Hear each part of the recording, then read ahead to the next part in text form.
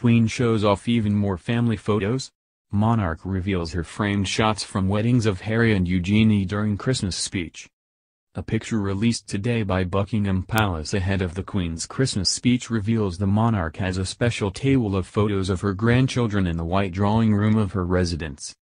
As the 92-year-old delivers her annual message there are pictures of this year's two royal weddings on the side table, marking the marriages of her grandchildren Harry and Eugenie, as well as a framed image of Prince William and his family.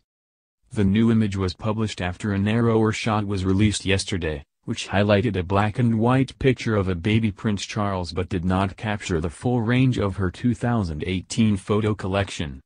The Queen filmed her annual message two weeks ago, preaching a message of peace on earth and goodwill to all amid rancorous political divisions in Britain this year.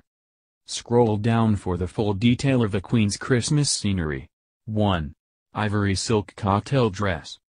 In the Christmas broadcast the Queen is wearing an ivory silk cocktail dress, designed by her senior dresser Angela Kelly, with pastel blue, white and gold lame lace overlay. She also made a replica of the royal christening robe for Prince Louis' ceremony at St. James Palace on July 9, and a lime green hat which the Queen wore to Harry and Meghan's wedding on May 19. 2. The brooch given to her by Philip. The scarab brooch the Queen is wearing was a gift from Prince Philip in 1966. It was designed by Andrew Grima, and is crafted of yellow gold, with carved ruby and diamond embellishments. The Queen's 97-year-old husband has stepped back from official engagements but attended both royal weddings, notably being pictured with Princess Eugenie's mother Sarah Ferguson for the first time since the 1990s. 3. Gilded piano given to Queen Victoria. This magnificent gilded piano by S.N.P. Erard was made for Queen Victoria and her husband Prince Albert in 1856. It is made of painted and varnished mahogany, satinwood and pine, with a gilded and painted surface by François Rocardit, with decorations such as monkeys playing musical instruments. 4. Baby Prince Charles The picture, taken in April 1949, shows a smiling 23-year-old Princess Elizabeth and her husband Philip holding baby Charles. To mark Charles's 70th birthday last month the Queen paid tribute to him as a dedicated and respected heir to the throne to stand comparison with any in history.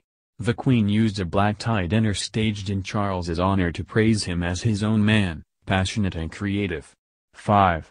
The Queen's Father This portrait shows the future King George V then known as Prince Albert, in his naval uniform, around the time he served on board HMS Collingwood during the naval Battle of Jutland in the First World War in 1916.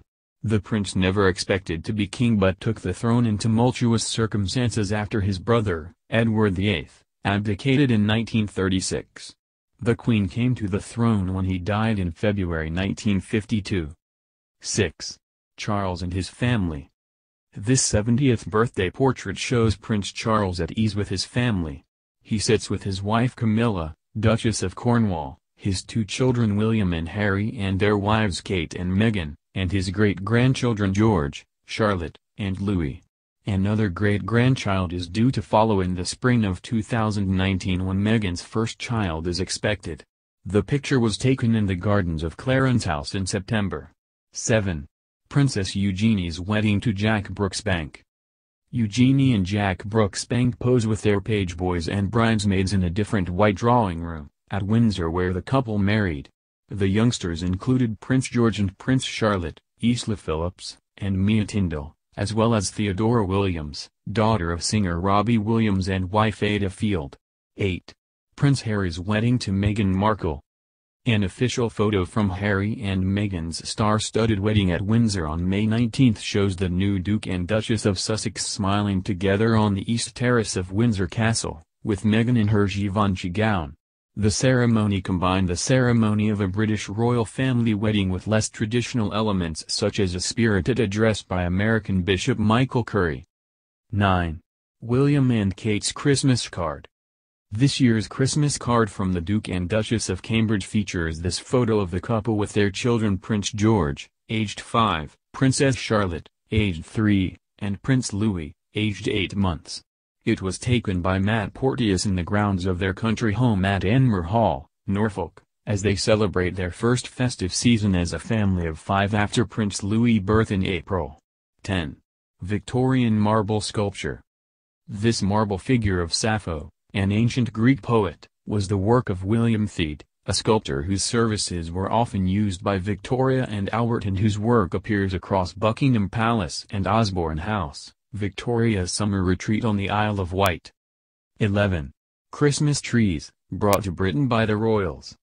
Queen Charlotte, the German-born wife of George III, who is credited with introducing the Christmas tree to the UK, decorating an evergreen tree for the family as early as the 1790s with candles, paper flowers and sweets. It was Prince Albert who popularized the custom more widely, presenting trees to schools and army barracks after a print showing the royal couple with their children around a tree was published in the Illustrated London News. 12. One of four fireplaces. On each of the white drawing room's four walls there is a marble fireplace like this one.